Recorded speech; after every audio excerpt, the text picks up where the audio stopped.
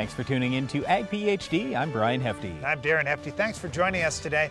One of the things we're going to talk about is plant growth hormones and plant growth regulators.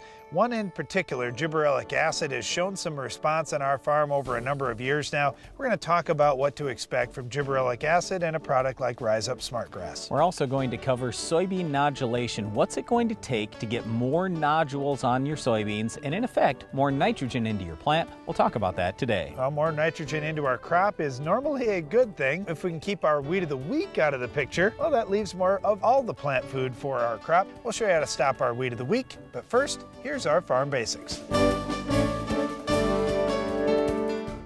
Farm Basics is brought to you by the Liberty Link trait and Liberty herbicide from Bayer. The most reliable weed management solution, Liberty Link and Liberty herbicide are the link to efficient row crop production and sustainable weed management.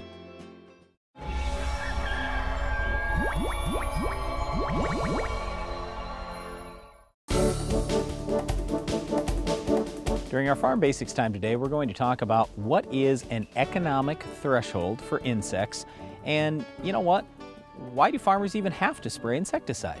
All right, let's first talk about this term economic threshold. When farmers see bugs out in the field, they're often thinking, well, how many bugs is my threshold where a spray application would be justified? Well, the economic threshold really determines it by dollars and cents. So if there are bugs out in your field causing $10 worth of damage and it costs $5 to spray, clearly we've reached an economic threshold. If we've got $5 or more damage going on in the field, well then it's worth spraying. Now for farmers, most of the time they look at a two to one return on investment. So if it's going to cost them $5, they want to see a potential gain or yield protection of at least double what they're spending. One of the things that's really changed is there was a lot of university research out 20, 30, 40 years ago saying what the economic thresholds are. Well, since then, crop prices have gone way up and some of the input costs, like the insecticide costs, have gone way down. In the meantime, as well, we've had yields go much higher. So let's say that you're going to lose 5% of yield. Well, it makes a lot of difference if we're talking 5% of 100 bushel corn or 5% of 250 bushel corn. So what I'm getting at here is, yes, there are some old established economic thresholds out there. I'm just saying in a lot of cases, those don't work anymore. You can still use the formulas, but you just have to plug in today's numbers. The other thing that farmers will look at is some bugs can be a vector for disease, meaning they're carrying disease with them. And many times those diseases are not something that farmers want to see out in the field, like bean pod mottle virus, for example, or barley yellow dwarf. Well, we don't want any of that in our field. So if you see insects that potentially are carrying disease, many times that throws this economic threshold right out of consideration entirely because the farmer says, man, I can't have any of those bugs in my field, or now this disease is going to run rampant through my field. So you can see where we're going here. If it's an insect that just feeds on some leaves, and if that insect is gone, well, there's no more damage, versus an insect that could carry a disease that could impact the crop the rest of the season, well, there are some differences there in terms of deciding if a farmer should treat or not. The other thing farmers have to consider is how many insects are out there at or near economic thresholds. For example, let's say that you had grasshoppers, bean leaf beetles, and soybean aphids all at just under economic threshold individually. Well, if you add the three up, now in effect you could justify treatment. So those are the types of things farmers are looking at. And believe me, as a farmer, I can just tell you, I don't want to spend any more money than necessary to raise a great crop. I would love to have where my crop is fantastic and I spent no money. That's the ideal scenario. But unfortunately, it just doesn't work that way. The good news here is with a lot of these insecticides, they're much safer than the old things. The most common insecticide we spray on our farm is a pyrethroid. That was developed from the the chrysanthemum flower that is relatively safe to humans and animals and everything. Now, I'm not saying not use personal protective equipment, not be safe around it, that type of thing, but I am saying it's much safer than a lot of the insecticides we used to deal with years ago. Farmers have lots of tough decisions when it comes to insect control and also control of our weed of the week. Can you identify this week's weed?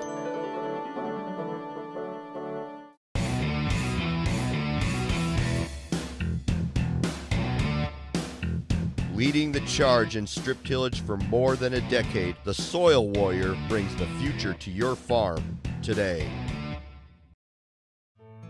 Unlock your nutrient investment with QuickRoots technology. It contains two powerful microbes that can help free nutrients bound in your soil, which can improve access to key nutrients for healthy crops N, P, and K. Applying QuickRoots technology to seed can lead to improved root and shoot growth, increased yield potential, and maximized nutrient investment. See how you can make your fertilizer dollar go further at monsantobioag.com slash quickroots. This agro liquid line is something special. A lot of really impressive playmakers. Take a look at Sure K. This guy is an enigma. But wrap your head around the exceptionally high plant response when compared to conventional potassium sources, the research proven plant availability, plus flexible application options and mixing capabilities. Really stellar performance stats. Sure K is a true standout, and that's a winning goal on any field. Tired of that old warped poly boom ruining your spray applications? Express Boom from Hypro is a fully assembled stainless steel boom that ensures an even application of chemicals every time. Don't wait another season, upgrade today. Hypro, helping you spray better. I know a lot of people that have them, and I don't know anybody that doesn't like their Morton building. The crew was really, in my book, top notch. The quality of this building is second to none, and they make sure before you walk away that you're happy. This is my dream barn. I think it ended up looking even better than I thought it would. People love it. When they get in here, they're just in awe. Morton Buildings, for work, for life, for generations.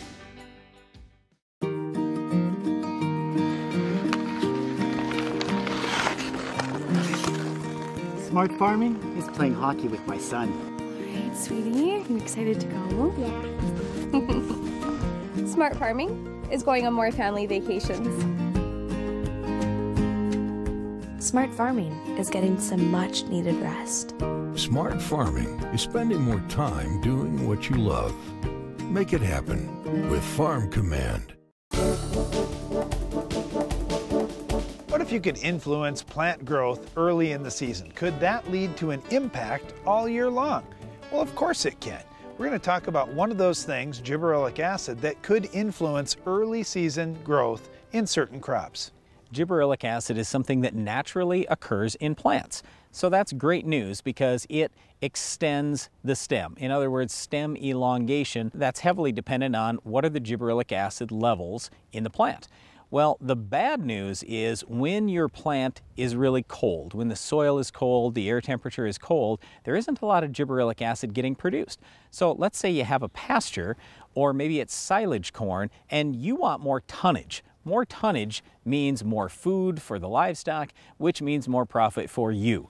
So what can you do to get the gibberellic acid levels higher in the plant? The best thing to do is just flat out put more gibberellic acid on the plant when the temperatures are cold. What we find is if you're able to treat that plant when it's roughly 50 to 65 degrees approximately, so I'm talking basically early in the spring or late in the fall if it's pasture grass for example, then you absolutely can increase stem elongation, you will increase tonnage. Well, there are a lot of gibberellic acid products out there on the market, and they're at various concentrations. So to say, oh, you use this much of a rate, it's kind of hard to do. Uh, one of the more concentrated ones that we've found is a product that we've used for a number of years. It's called Rise Up Smartgrass. So RyzUp SmartGrass is from Valent, and we have used this at really pretty low levels, and we've seen good gains. So this is the reason why we're talking about this today. I also wanted to talk to you about it today because, hey, it is early in the spring. We're about at the time of year when you should be spraying this, but if you get too late, you don't want to use it. We found that it doesn't really seem to pay very well, at least for us at this point, when we're spraying when the weather's warm. Again, the reason why is because as the weather warms up, the plant is naturally producing lots of gibberellic acid.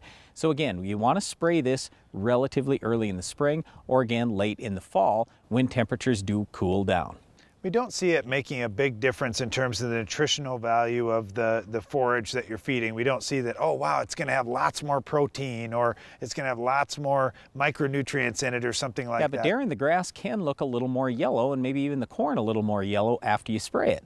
Well, sure. Whenever you've got rapid growth, and we see that during the growing season. Just watch your cornfield. When we have some times during the season where the corn looks a little more pale and other times where it looks a little darker. Yeah, when it's growing that quickly, especially early in the season when it's tough pulling nutrients out, it's probably going to look a little bit more pale for a little bit of time.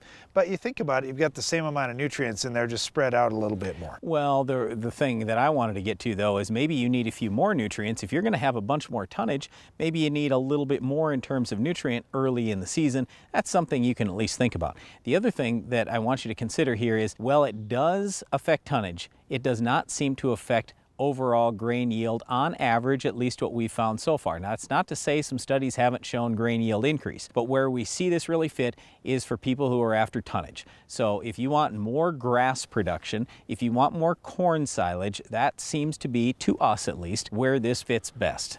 Well, gibberellic acid is just one of the many different plant growth regulators or plant growth hormones that are out there on the market today, but it's one that we've used for a number of years and we've seen some good gains, especially early in the season and later on into the fall. One other thing that's always paid for us is keeping our weed of the week out of our fields. We'll show you how to stop this weed coming up later in the show.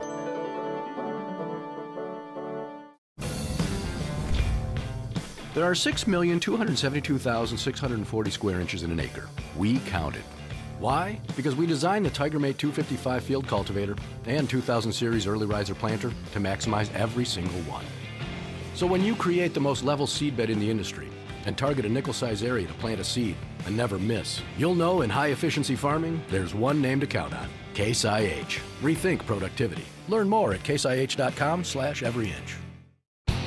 The buzz on this line is probably the best in 10 years, both in soil and in the plant. Joe, you've been doing this for a while. What's your take? Well, Don, you take a player like High NRG-N, three forms of nitrogen, plus sulfur and iron, with slow release technology, he's making plays all season long. Oh, look at his numbers. He's getting it done. But don't forget about in response. This guy's designed for a quick release nitrogen. It's looking like another championship season for Agro Liquid.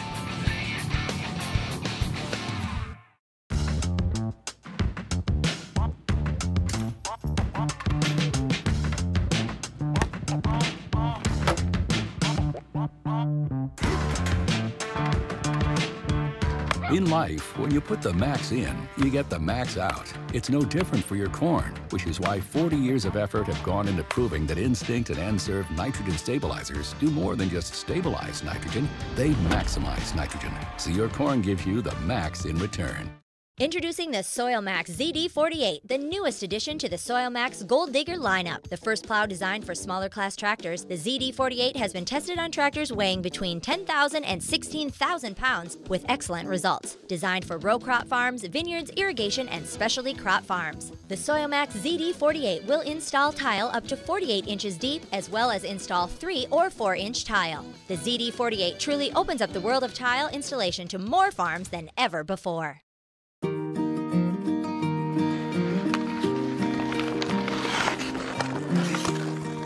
Smart farming is playing hockey with my son. Alright, sweetie, you excited to go? Yeah. Smart farming is going on more family vacations.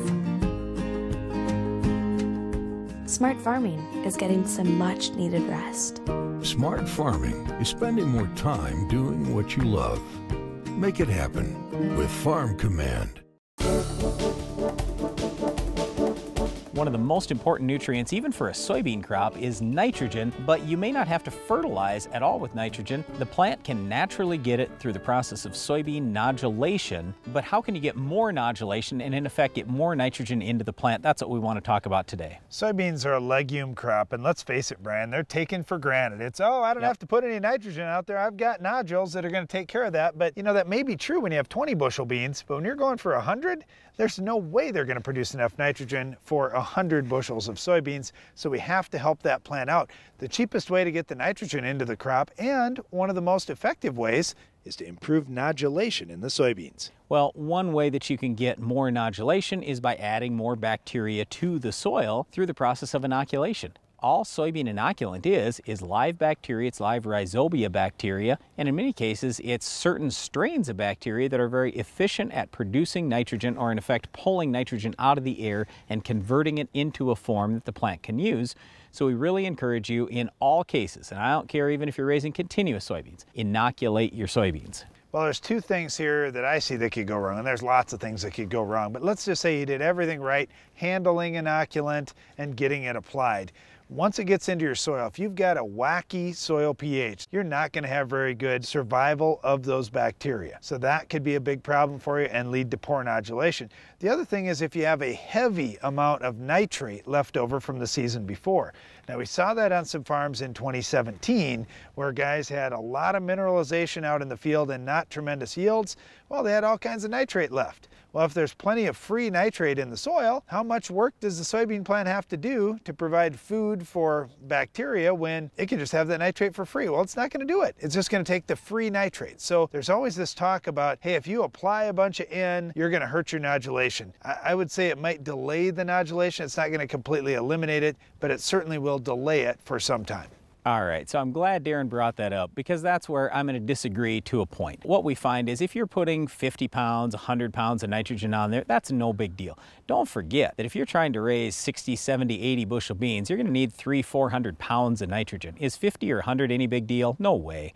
You're still going to have great nodulation most likely if you've done everything else right. So don't even worry about that so much. What we do want to get concerned about again is coming back to this process of how do we get the best nodulation? Now Darren touched on the soil pH, but let's talk about the specific pH that we want. We'd really like to see that pH in the 6.3 to 6.8 range. That's where we find the best overall nodulation. It's basically the environment that the bacteria love the most. The other thing is that bacteria need to have oxygen. They need oxygen to survive, and if we've got soil compaction or if we've got very poorly drained soils, what we find is those bacteria will die, and you won't get them back later in the season. They're just gone. And it's not just short term, do we have enough oxygen? It's year round. So in other words, if you say, well, during the crop season I was fine. Yeah, my water table came up over the winter time. Uh, no big deal. Yeah, it is a big deal because the bacteria still need to survive over the winter time. If you have a high water table, now a lot of those bacteria are dead and you're not going to have great nodulation going into the next year. The other thing is the nutrient balance in your soil. You've got to have a good balance of nutrients out there of everything but then there are some specific ones that play into nodulation. One of them that doesn't get talked about enough is molybdenum. And it's funny, we did some tests on our farm just to see what's our molybdenum level because on normal soil tests, well, it doesn't even have molybdenum on there. They don't even check for it. You have to spend really quite a bit more money to get a specific molybdenum test from most labs. Well, when we tested for molybdenum, we had some fields where it was non-detectable. Well, if we're non-detectable, and this is an important nutrient for nodulation, I think this is one that we need to get more of out in our field, and you may as well. I would start by measuring in your fields just to see where your levels are, and then going from there, because there's a lot of different ways to get molybdenum out in your fields. Well, in addition to maybe pulling a few soil tests for molybdenum, really look at plant tissue analysis. You can test the soybean as you go through the season and see if there is some molybdenum getting into that plant. All right, Darren mentioned this nutrient balance and stuff in the soil. Here's a lot of what it really amounts to. Okay, you got to think about why are these bacteria colonizing on the root and why are they bringing nitrogen into the plant? Well, the reason why is because the plant is providing sugar for the, the bacteria. It's providing food for the bacteria. So just think about it logically. If I have a super healthy soybean plant, is it probably able to produce more sugar? You bet it is. So you really want to look at your NP and K. You want to look at your secondary nutrients. You want to look at your micronutrients. Again, you got to take care of your drainage and your pH. Do all those things right. Control the weeds, the insects, diseases, everything. And you will find you're going to have better nodulation simply because your plant fed more bacteria. One other topic that we hear from time to time when we think about nodulation is Roundup. And oh boy, everybody wants to blame everything on Roundup. But it is a fact that in a plant, when you spray Roundup on a Roundup ready plant, it compartmentalizes that Roundup. It doesn't metabolize it, it just pushes it down into the root system to kind of get it out of the way so the plant can keep growing. Well, what's down in the root system? Nodules. They're actually inside the root, right? So when you've got nodules down there and you're shoving Roundup down by those nodules, there's a lot of speculation that, well, the bacteria don't like it and they leave, or maybe it's toxic to the bacteria and they die. Uh, I don't know what the real story is. Brian, what's your feeling on this? Well, all I know is I'm not that worried about it we've never found anything on any wide scale that using Roundup, Roundup beans, anything like that have fewer nodules, lower yield, those types of things. So could there be something there? Yes, it's possible. Could it be that, well, maybe if I delayed my Roundup, I might have 0.1 bushels more. It's possible. Well, that's been the I just don't think it's any real big deal. That's been the observation is delaying the Roundup application, just let the plant build up more nodules and it was more able to tolerate that. I, I don't know, like you say, I don't know if it's a huge deal these or not. other factors are way more important. Totally agree. Totally agree. And we've got control of all of them. So when you're thinking about nodulation in your field, it is so critically important in a legume crop like soybeans. We talked about a number of factors today to make sure that you have good nodulation so you produce plenty of nitrogen so you can achieve high yields. Well, if you're shooting for high yields, you need to have great weed control too. We'll show you how to stop our weed of the week coming up next. The Weed of the Week is brought to you by Dow AgroSciences. Finish the fight against tough weeds with the Enlist Weed Control System.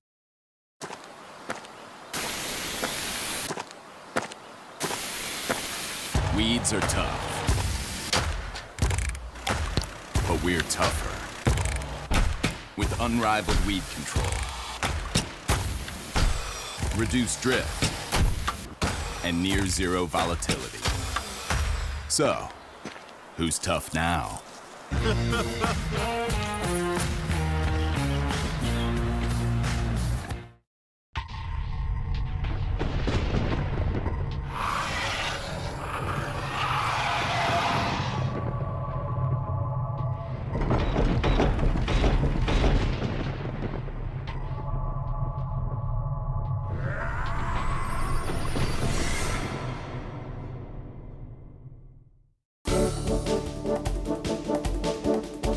Weed of the week is giant ragweed.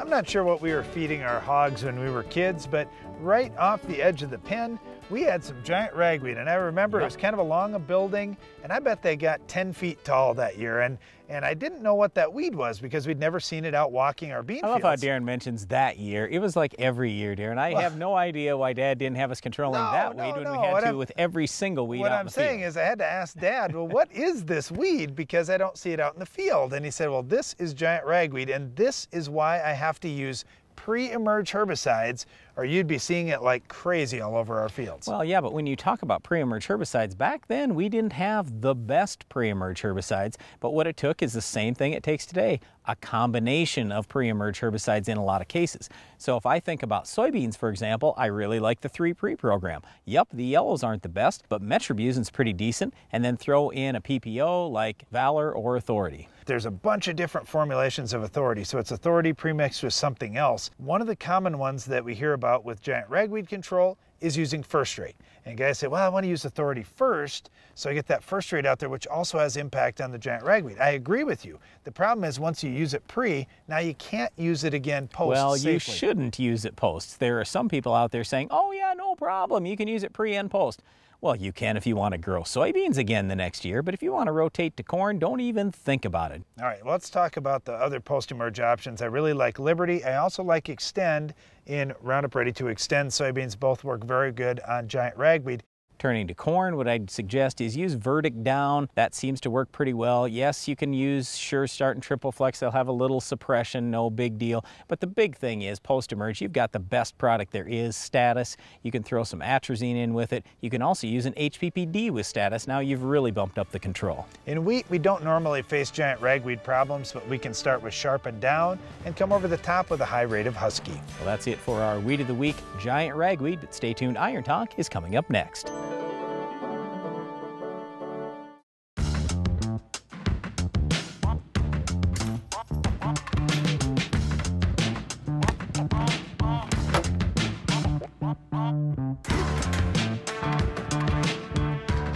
Life, when you put the max in, you get the max out. It's no different for your corn, which is why 40 years of effort have gone into proving that Instinct and N-Serve nitrogen stabilizers do more than just stabilize nitrogen, they maximize nitrogen, so your corn gives you the max in return. Let's face it, Joe. Some of these guys aren't easy to play. Biologicals are expensive. Humates and plant growth regulators are messy. Yeah, but Agro Liquid has four new players that have really eliminated those problems. The Primagro line has helped their team realize the benefits. Wait, So season-long nutrition and optimize yields while creating a biologically active soil? That's right. Primagro line is a fantastic addition to AgroLiquid's stellar team.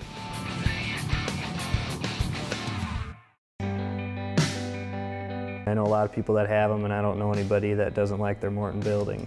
The crew was really, in my book, top notch.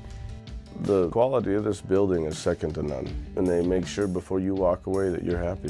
This is my dream barn. I think it ended up looking even better than I thought it would. People love it. When they get in here, they're just in awe. Morton Buildings, for work, for life, for generations.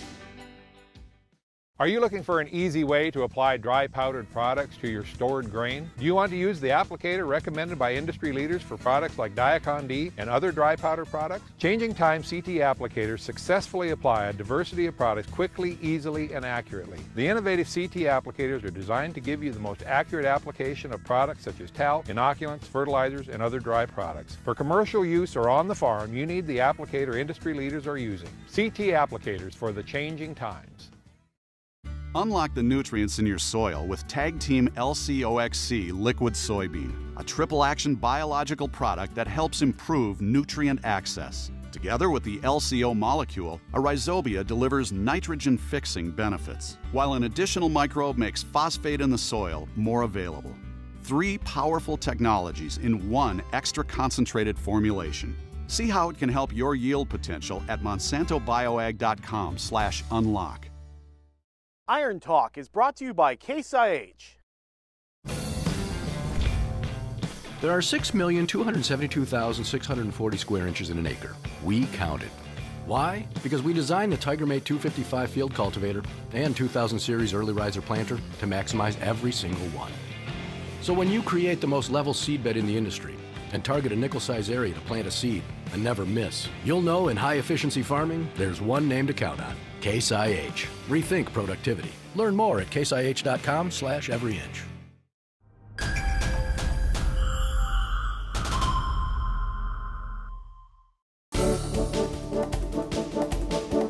There's so much work to do in the spring that finding a way to do two things at once can really save some time. If mixing herbicides with fertilizer is one of those two jobs at once on your farm, I'll share some tips to help it go smoothly in today's Iron Talk.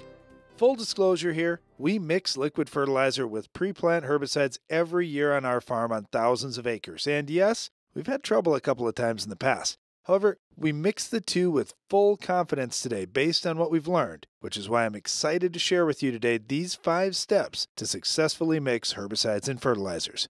First, jar test. Do your exact mixture in advance in a small, clear jar. This can help you avoid a large scale mess in your sprayer. Also, if you really want to play it safe, jar test with each batch of fertilizer you get, as there may be some variance batch to batch throughout the season.